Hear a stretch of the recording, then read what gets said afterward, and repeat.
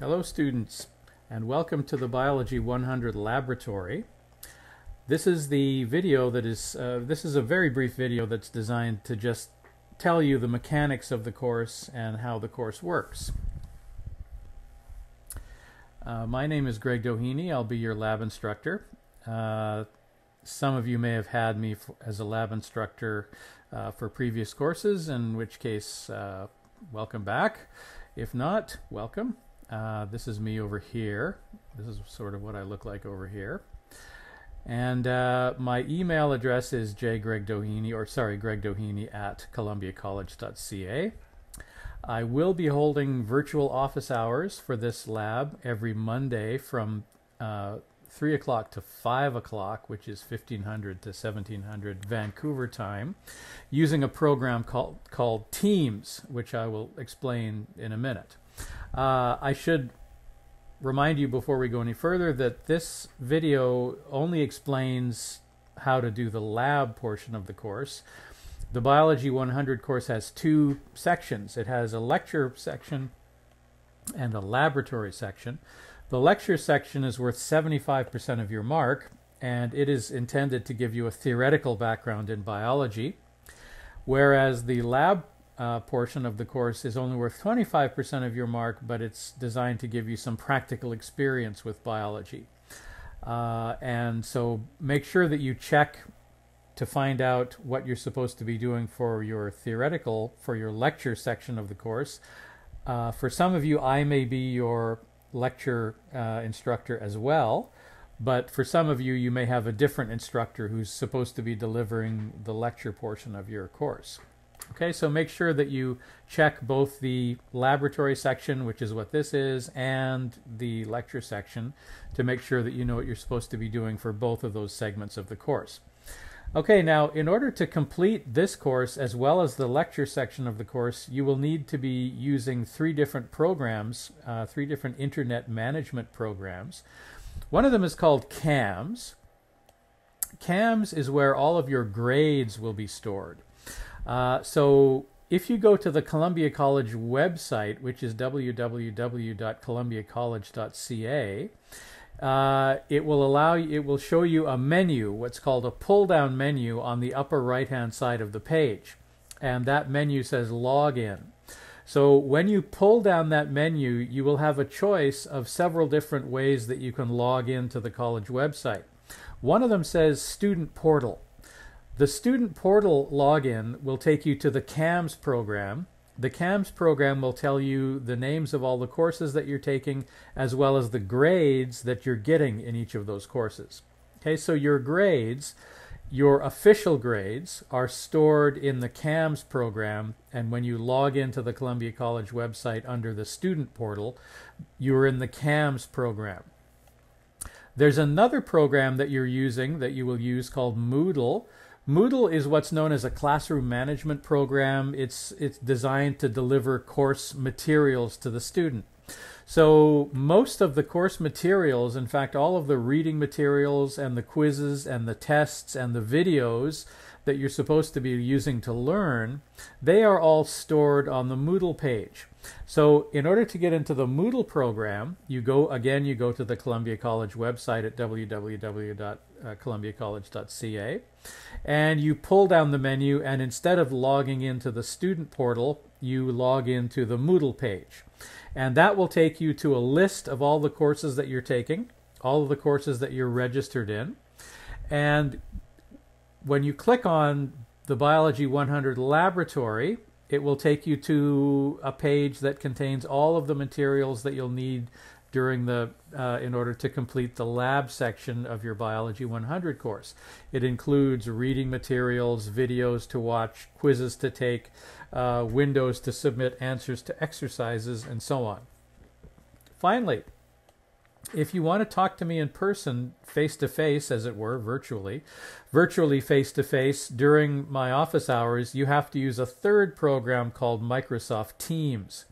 Microsoft Teams is a uh, program that you load onto your computer or onto your phone, and it then uses, it, it will give you a calendar, and uh, it will show you that on Mondays from 3 to 5 p.m., you have an office hour and you have the option of coming to the office hour. If you come to the office hour, you simply click on the calendar for that time, and the, the Teams program will activate your camera and you can talk to me face to face. I will have my camera on, but you don't actually have to have your camera on.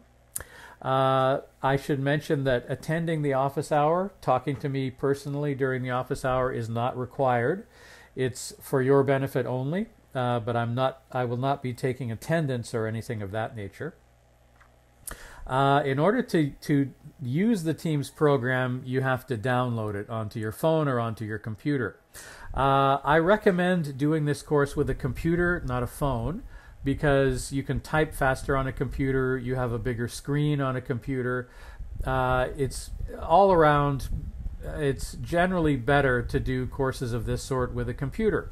Now, if you don't have a computer, Columbia College has a, a, a, loan program where we will loan you the money to buy a laptop computer. So, if you want to take advantage of that program, uh, I suggest you get into contact with one of the college counselors, and they can tell you about that. Uh, it's basically called an uh, equipment acquisition loan program for students. Uh, so, I would recommend having a computer uh, you can borrow money from the college to buy a laptop computer, uh, but still, uh, you if you really want to, you can do this. You should be able to do this course with just your phone. However, I would not. I would strongly recommend against that. I think you have an advantage if you have a computer, and you need to have a good internet connection.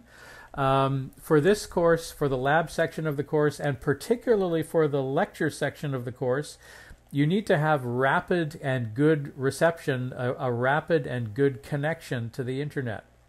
Uh, because the questions, the quizzes, and the tests are being sent to you through the internet uh, and your answers are sent back and forth through the internet. So you need to have a good connection because if the if the connection times out or stalls out and you have to log out and then log back in again, that's that's a waste of time and you your marks will suffer for that. So I urge you to find some place where you can use your computer that has access to a good internet connection. If you don't have a good internet connection at home, you might want to do the uh, you might want to do these sections of the course at an internet cafe or something like that. But I'll leave that in your hands. All right, so just bear in mind that you're using three different programs in order to complete this course. The CAMS program where your grades are, the Moodle program where all of the course learning resources are, all of the course learning materials, and finally the Microsoft Teams program which you can use to talk to me face to face virtually as it were. All right, so just to show you again how this is working, uh, we have, if you log into the Columbia College website and then you go to the upper right hand corner up here, you'll see that there's a pull down menu. A pull down menu means you click with your mouse or your trackpad and then you hold it, and this menu will come down. And then, without lifting your finger off of the mouse or without lifting your finger off of the trackpad, you let go. You move down to the student portal and let go, and then that will take you to another window that allows you to log into the CAMS program. On the other hand, if you pull down this menu and then you log in, you, you let go at the Moodle section, that will allow you to log in to the Moodle program where all of the course teaching materials are. So if you log into the Moodle program, it will show you a, uh, the Moodle page will show you a list of the courses that you're registered in. Uh, and then you click on the one that you're registered in, it will take you to the page that contains all of the learning resources. This is the window that you will see if you want to attend the office hours. This is a Microsoft Teams page. Uh, so this is what you'll see basically if you want to talk to me during the office hours. Uh, as I said, my camera will be on, but your camera does not have to be on. I understand that some people are, are uh, more self-conscious about appear, appearing on camera, and it's not actually necessary. It's as I said, attending the office hours is for your benefit only. It's not required, so you don't have to attend office hours. But if you do attend office hours, you do not have to have your camera on. However, either way, you have to attend the office hours using the Microsoft Teams program because that's the preferred platform for uh, Columbia College to talk to their students. All right, so once again, there are two components to the Biology 100 course. One of them is a lab component, which is what this is, of course, and it's worth 25% of your grade. Right? And the lecture component or the theoretical component is worth 75% of your grade. You may have me as an instructor or you may have another instructor. You should check with your Moodle page to, to find out. Uh, now, here's something that is critical for you to know. It's necessary that you pass both the lecture and the lab component of the course to pass the course as a whole. In other words, if you fail the lab component, you can't pass the course even regardless of how well you've done in the lecture section of the course. You might get 100% of the material in the lecture section of the course, but if you fail the lab section, you fail the entire course. That's a standard policy that all science courses have, that you have to pass both of the sections individually. So even though the lab section of the course may not look that important because it's only worth 25% of your grade, you know, the lecture section is worth three times more but nevertheless, you still have to pass the lab in order to pass the course. I can tell you as a teacher that there's nothing more heartbreaking than to tell a student that, you know, they've done very, very well in the lecture section of the course, but because they failed the lab, they failed the entire course. That's a that's a tragedy, and it, that tragedy doesn't have to occur uh, if you pay attention to the lab and treat it with importance. Okay, now this is what's called a flex flex course. Columbia College in, uh, invented the flex courses to accommodate students who need a flexible schedule. That means that uh, we would normally be holding classes in person at the college, but because of the COVID 19 pa- pandemic, we're unable to get to the college. Some students are remaining in their home countries and other countries overseas. Some students are in Vancouver or in the greater Vancouver area, but they choose not to come to the college because they're concerned about catching COVID 19, which is a which is a legitimate concern. If you can avoid it, you, you have that option. So it's your choice, but the flexible the flex courses are designed to be delivered to students at a distance and uh, uh, taking into account the fact that students may be in a different time zone from the college. So midnight at Columbia College might be 12 noon in somebody else's in, somebody else's location. We have to give you the flexibility of watching the videos whenever you want and submitting the material whenever you want, except limiting it to one day per week. So if you were in the college, we would be taking this, uh, we would be doing the Biology 100 lab in the Columbia College Biology Lab on Wednesdays at 12 noon, for example. And you would have to the the lab would start at 12 noon, and then you would ha- you would I would give you a quiz at 12:05, another quiz at 12:10, and then you would do the lab protocol, and then you would submit to me your answers to the worksheet before you left at two o'clock, and that would be the end of it.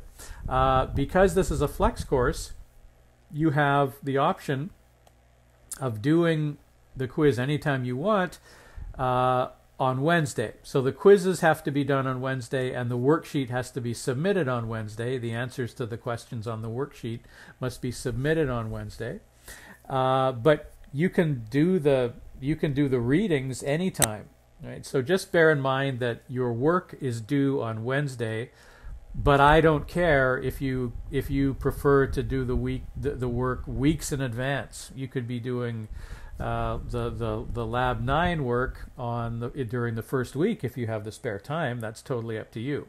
Uh, and you could submit, you have the option of submitting the work to me anytime between midnight on Wednesday, you know, 12 a.m. Wednesday morning and 11:59 Wednesday night as long as it's submitted on Wednesday if you were unable to submit the lab work, you have to tell me in advance because you uh, or you have to you have to tell me uh, fairly quickly that you were sick. Uh, medical reasons, being sick, being ill, or having a medical reason is the only excuse that we accept for having missed a lab. Uh, now, generally, uh, for the labs, if you miss a lab, I will give you a supplementary lab. So it will be the supplementary lab that you can do later will be slightly harder than the one that you would have done if you'd submitted the lab work on time. Uh, unfortunate, that's unfortunate, but necessary because if we didn't make the makeup labs harder, uh, everybody would just be putting them off. Uh, so I, I was a student for a long time, and if I were a student in that situation, that's what I'd do if I was given the opportunity. So we have to have some kind of a deterrent uh, to prevent people from missing the lab for frivolous reasons. Okay, so it, it is easiest to do the lab and, ahead of time and then submit the answers on Wednesday. If something happens, if you're ill for some reason, you have to provide proof of the illness in the form of a medical note that you and and uh, you don't provide the proof to me you provide it to one of the counselors the counselor then tells me that they've given me permission to give you a supplementary quiz or whatever and the supplementary quiz will be more difficult than it would have been if you had written it on the on the Wednesday all right, so this is a flexible course. You have all day Wednesday to get your materials into me. Uh, we don't all have to submit them at the same time as long as they're submitted on Wednesday. All right, so what to do each week? What do you do each week? Well, you go to the Moodle page, and this this course is divided into 13 weeks. It's actually 14 weeks, except that the, the 14th week is taken up by the final exams. But the lab, we have our final exam on the on the 13th week. So the lab the lab course is divided up into 13 weeks. There is no lab the first week, and the, there's a lab exam on the last week, which is the 13th week. So the first week, of course, this semester starts on September 7th. That's week number one, and then seven days later, the following week.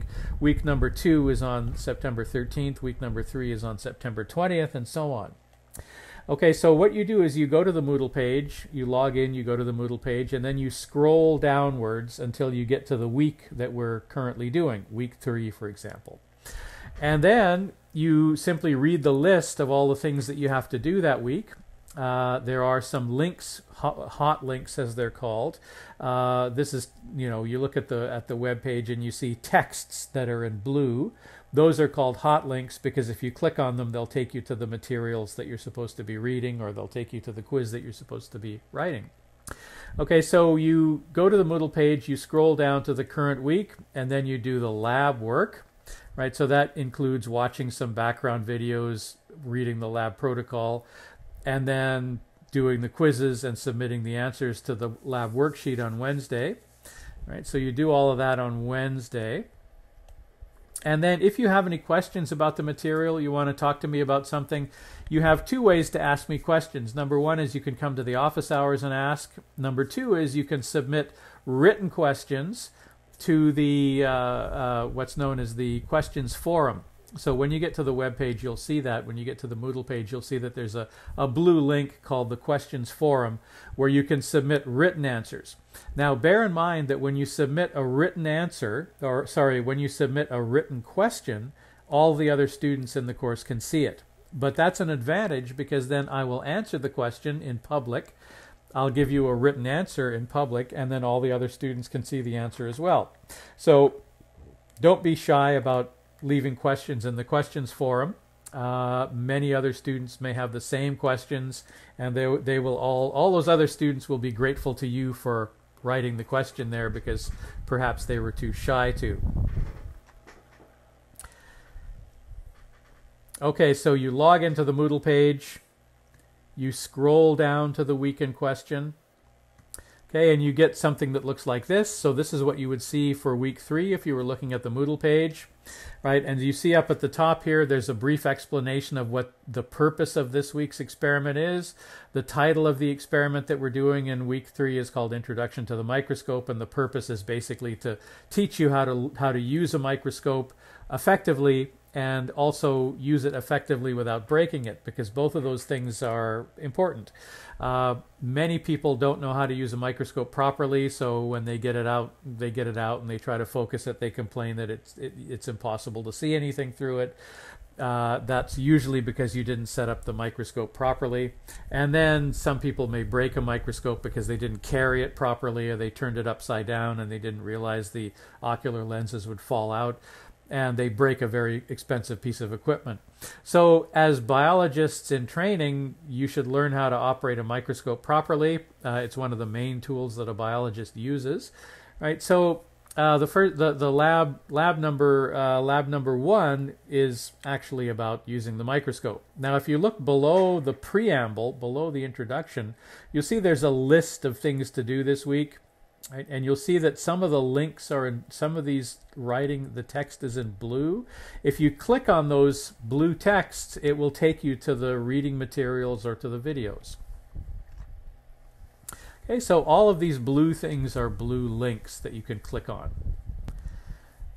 All right, let's look at what you're supposed to do each week in greater detail. So there are basically three parts to each lab, and I should mention to you that there are nine labs.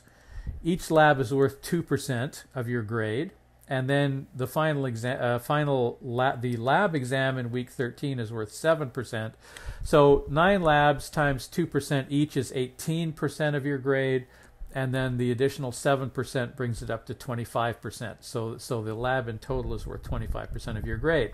So every week we do a, we do a different lab, and the, uh, the first part of the lab is you are assigned a whole bunch of videos to watch on the YouTube program. I don't know if you're familiar with YouTube. Uh, YouTube is a place where you can store videos. Uh, it's a nice place for us to store videos because, as I'll as I will explain in a minute, you can actually turn on a transcript for YouTube. So as you're watching a lecture or you're watching a video, you can click on the transcript button for YouTube, and it will provide a simultaneous written transcript of what's being said.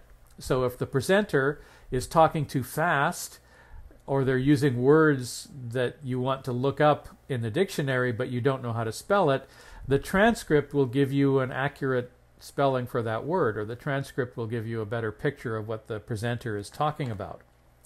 Okay, so that's an advantage to storing these videos on YouTube. Okay, so I each week I give you a few videos that you have to watch on YouTube. I will also give you some questions about those videos. You should look at the questions in advance because the answers to those questions are contained in those videos. So if you sit there watching the videos with the questions in front of you, you can write down the answers as you go through them. So, and then the quiz that you're going to write a quiz on the background videos on Wednesday of each week. And in the case of the background videos, I've given you the questions in advance. So you, you should be prepared to answer those questions because you've looked up the answers. The next thing you do is you read the lab protocols for the week.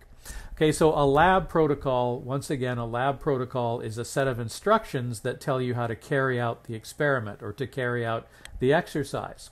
Right? Now, if we were doing this in the college, if, if not for the pandemic, we would be doing these experiments in the college. And you would be expected to do the experiment. But I should tell you that in case you go to the college in the future, you should know that for, for these biology labs and for the chemistry labs and for the physics labs that we teach at Columbia College, there is no way that you have enough time to read the protocol and do the experiment during the lab period. Lab periods are two hours long. Generally, the lab period is only long enough to do the experiment. You don't have time to read the protocol. So, we insist, in fact, we, we require that you, that you read and study the lab protocol before you come to the lab so that when you show up at the lab, you know exactly what you're supposed to be doing. And in order to make sure that, that you've read the protocol, we give you a pre-lab quiz. So if we were doing this in the biology lab at Columbia College, you would come in at 12 noon or something. Everyone would put away their books, and then I would pass out a quiz that asks you some questions about the protocol for the day. And that, you know, so it determines part of your mark and so that gives you an incentive to actually read the protocol ahead of time because you're going to be examined on the contents of the protocol. So that's the purpose of that. Now, the fact that we're not actually you're not actually going to do the lab, we're still going to quiz you on the protocol. Uh, because it wouldn't be fair to the students who actually have to do the lab. Some of the students are coming to the college this semester and doing the lab. They will be quizzed on the protocol. Part of their mark is determined by how well they studied the protocol. So we have to do the same thing for you as well, even though you're not going to be doing the, the actual protocol. And the final step of the protocol, as you're reading through the protocol, you'll notice that there's a video link to a YouTube video that where one of the Columbia College instructors will actually demonstrate the protocol for you.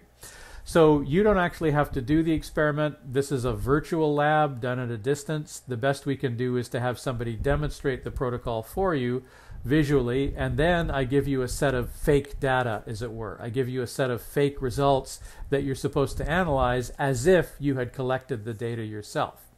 Okay, so you read the lab protocols, you study the lab protocols, and then you watch the video demonstration, which is being done by one of the Columbia College instructors named Sarah Gomeshi Nobari.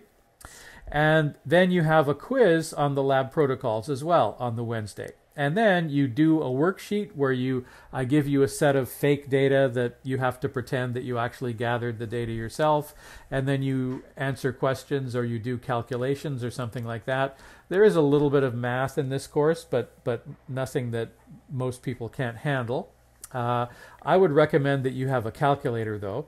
Uh, so in order to complete the lab, you need a computer connected to the internet, a calculator, and you'll need some graph paper for a couple of the labs. Okay, so then on Wednesday you submit your answers to the lab exercise and that's it. So let's take a closer look at these links. Okay, so you notice up at the top we have these blue links that talk about the, the, the background videos, and then there's another one that takes you to the lab protocols, and there's another link that takes you to the lab worksheet. And then there are three links to the quiz on the background videos, right? The quiz on the lab background videos, quiz on the lab protocols, and a place where you can enter your answers to the to the questions on the exercise for the week. All right, so let's let's look at what you see if you click this link. If you click this link, it will take you to a document that has a, a, whole bunch of addresses for YouTube movies. This gives you some background information. And then if you scroll down a little bit farther, you'll see that I've given you some practice questions. You're supposed to look for the answers to these practice questions as you are, uh, look to the answers, look for the answers of these questions as you're watching the background videos because you will be quizzed on them. And here's an example of a, a, a video on YouTube, right? You see the logo up here, YouTube, of course, right? Now, one thing I want to point out to you about watching YouTube videos, I just mentioned it, but I'll mention it again. Down here, where these three dots are, if you click those, it will give you some more options, and one of the options is that you have the option of turning on a transcript so that as I'm narrating or as the presenter in the video is narrating or as Sarah is narrating, the YouTube will provide a simultaneous transcript, a written transcript, not exactly subtitles. The, the text appears to the side on the right hand side of the video. But if, if I'm talking too quickly or Sarah's talking too quickly or we're using a word that you don't understand and you want to be able to look it up in the dictionary but you don't know how to spell it, simply look at the transcript. So I, I advise everyone to turn on the transcript so that you can uh, you can hear it and you can read it much more easily. Okay. What happens if you click on the protocols? It will take you to a list of the protocols, so you have to study the protocols because you will be quizzed on the protocols, but I, I will not be giving you answers in advance. Right, so, uh, you know, uh, for instance, there's an enzyme lab, which is lab five, uh, where, or sorry, lab uh, three, I believe, uh, a lab on enzymes where you test the activity of enzymes at three different pHs. And it, for example, I would ask you which which are the three different pHs that we test the enzymes in. So you would have to know that. Generally, those types of questions, when I ask them, they are multiple choice questions. So it's not not terribly hard, but you do have to have studied the protocol in order to answer them. And then finally, there's a link to a video of Sarah Gomeshi Nobari, one of the Columbia College instructors, who is demonstrating the experiment for you. Uh, here you can see Sarah standing in the actual Columbia College biology lab. Uh, I hope you get to go to the actual lab someday when the pandemic is over. Uh, it's we have a great lab at Columbia that contains all kinds of fancy equipment and models and uh, anatomical models, and you can see behind Sarah there's a there's a model of DNA, deoxyribonucleic acid. Uh, so you so you watch Sarah do the demonstration, and then you go and take the test on Wednesday.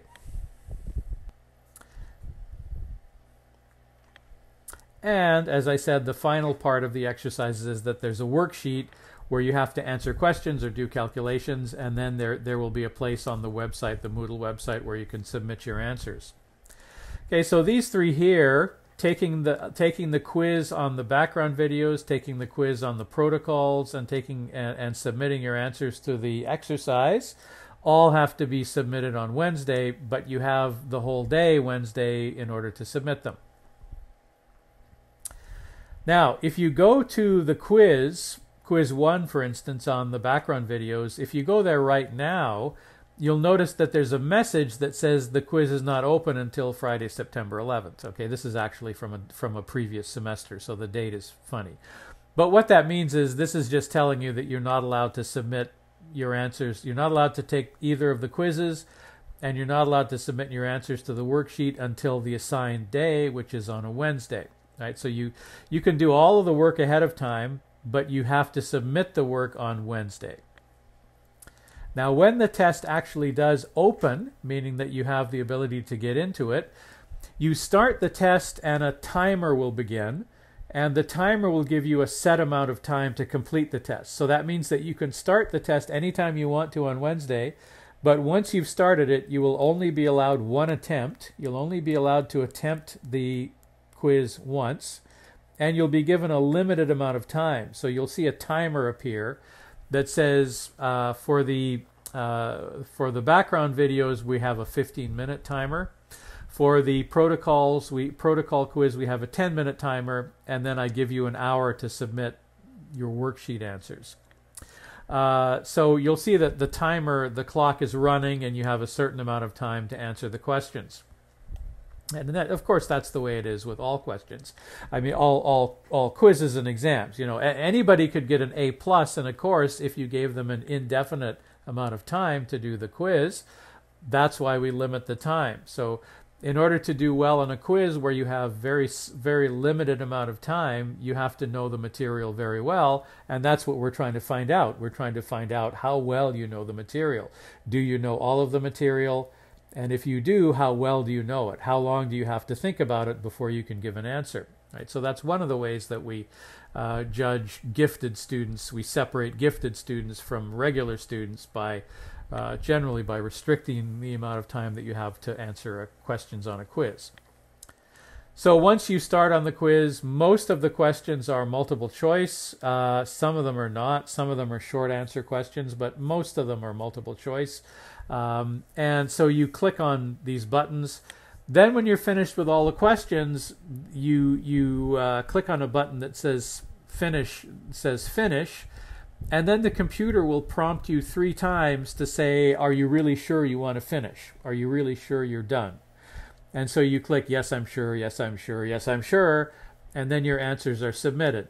I should mention that sometimes the clock will run out before you're finished, and students are worried that maybe the computer didn't save their answers. I, I can assure you that actually the answers are saved automatically about once per minute. So that means that if you did, if you finish all the questions, let's say that you're the clock is running and you're about to run out of time, you've answered all the questions and the timer suddenly cuts you off and you didn't have time to click the submit answers button, your answers were being saved all the way through the test, except the last minute, whatever questions you answered in the last minute may not have been saved. So, the, the moral of that is the message behind that is make sure that you finish all the questions and click on the submit button. If you don't click on the submit button, most of your answers will be submitted automatically, but the last one or two that you answered may not be because the computer didn't have time to save them. So just bear that in mind. That's that's a flaw of the system. There's nothing any of us can do about it. So just make sure that you click uh, finish and submit for all of your quizzes. Now, after the quiz is closed, namely Thursday, from Thursday onwards, you can go back and review your answers to see if they were correct. And I advise you to do that because you may encounter the same questions or similar questions on the lab exam. So it's always best to find out which questions you got right and which ones you got wrong. So when you look at the quiz the next day after the after you're allowed to review it, you'll notice that for instance here I answered incorrectly and then it down here it tells you the correct answer. Right? So make sure that you check your correct answers. All right, so there it is. That's what you have to do every week. You scroll down to the week in question and you simply complete this list of activities, which includes two quizzes and an assignment that have to be submitted on Wednesday. But you can actually do the work well in advance of the Wednesday. That's totally up to you. How much are these labs worth? As I mentioned before, the total lab is worth 25% of your grade. The, the background video quiz is each background video quiz is worth 0.5% of your grade, which doesn't sound like very much, and it, isn't, to be honest. The lab protocol quiz, each lab protocol quiz is worth 0.5% of your grade. The worksheet answers are worth 1% of your grade, which means that every lab is worth 2% of your mark. There are nine labs in total for 18% of your mark. And then on in the last week of lab, which is week 13, we have a lab quiz, a lab exam, which covers all the material from the whole semester, and that lab exam is worth 7%. So the total lab mark is 25%. Don't forget that you have to pass the lab in order to pass the course. So if you get less than 12.5% of 25%, you will fail the course regardless of how well you did on the lecture section. Okay, so as I said, the lab schedule is flexible because we give you the option of submitting this work anytime on Wednesday.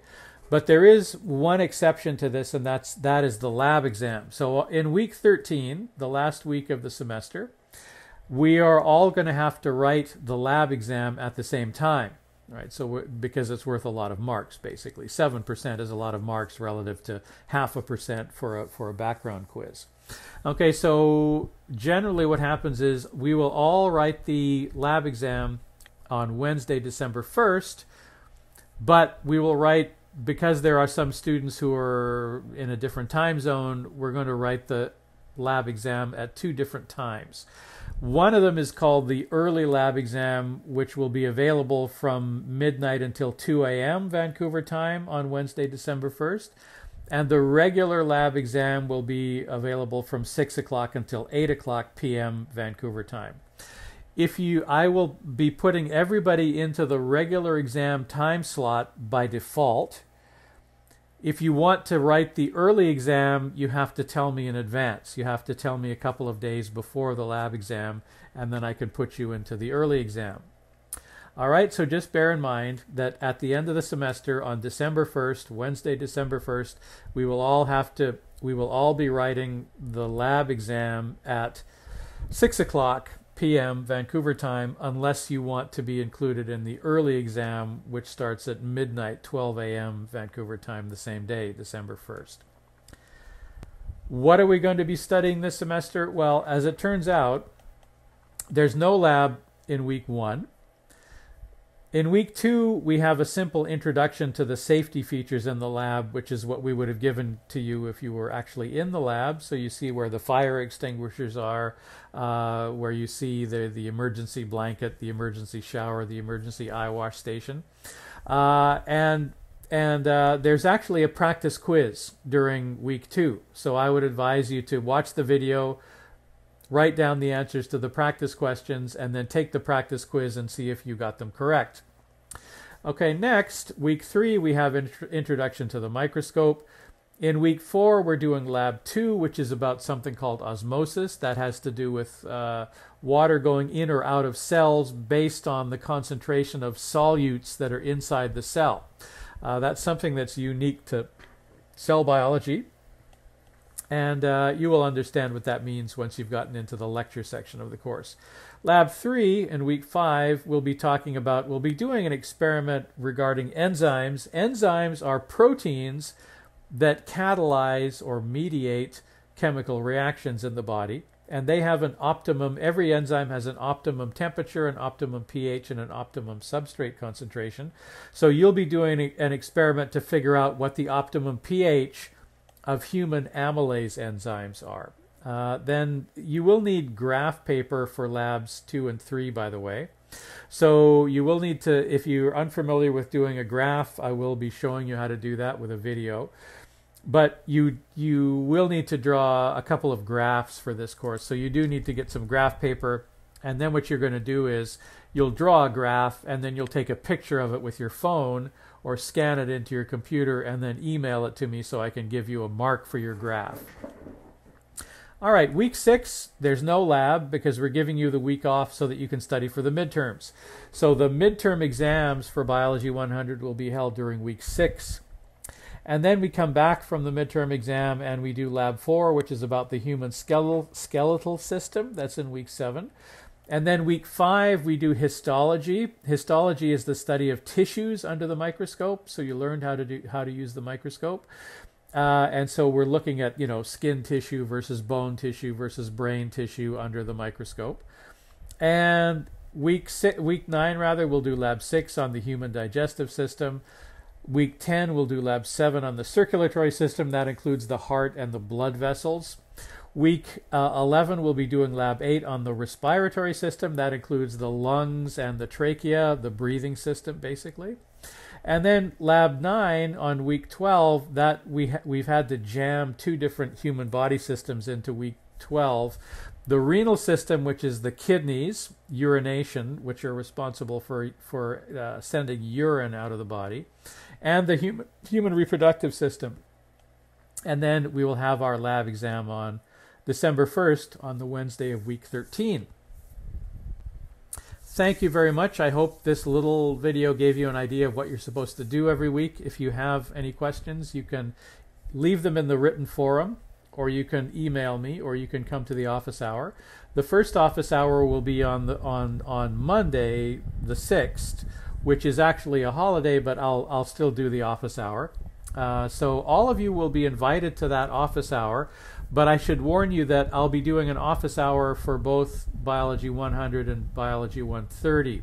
So we'll, there will be some students there asking questions about Biology 100, but there'll also be some students there asking about Biology 130 uh, because I'm, I'm combining my this this semester. What I'm doing is I'm combining office hours for both Biology 100 and Biology 130 to give everyone a chance, everyone more kind of flexibility uh, about when they have to be online in order to ask me questions. So, good luck and happy learning. The reason I say happy learning at the end of most of my speeches is because uh, I know some of you are not really interested in biology. Uh, and you're taking this course as an elective, but uh, I was a student too, and I recall that there were many courses that I had to take as an elective that I couldn't care less about the subject. I wasn't interested in many of the subjects that I studied. But as you get into it, I actually got interested. It's always fun to learn something. It's always fun to learn something that you and very few other people in the world know about. So, learning is fun. Gaining knowledge is a thrill. Uh, you just have to be open to the experience. So, I hope, you know, even if it's a little bit stressful to, to be studying and to be tested on what you've learned, I understand that. But at the same time, I hope, you know, either now or in the future, you can look back on this course and say, I, I had fun as well. I learned some things that I didn't know, and that kind of expands your view of the world and it, it, it expands your enjoyment of the world when you understand it. All right, so uh, good luck and happy learning. Thank you very much.